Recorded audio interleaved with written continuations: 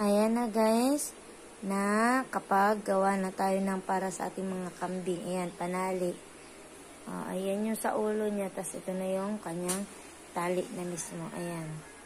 Sakto lang yung haba niya guys, para sa ating mga alagang kambing.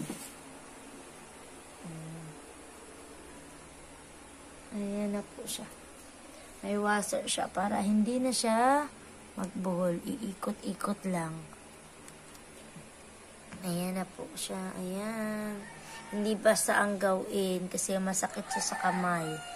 Tiis sa pagpapagawa para marami. Ayan. Thank you.